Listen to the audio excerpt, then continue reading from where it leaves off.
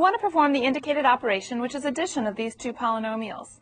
Since it's addition, there's nothing in front of either of the polynomials, so we can remove our parentheses and just write the terms out.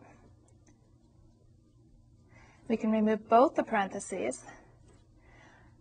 And then in order to simplify this, what we want to look for is like terms. So we've got a 4x cubed y here, and then we have a 3x cubed y that's positive.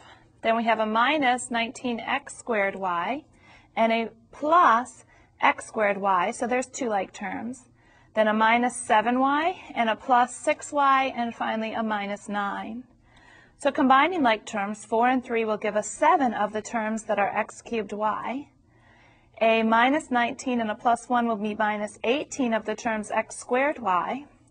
Minus 7 plus 6 is minus 1 y. And then our last constant, minus 9.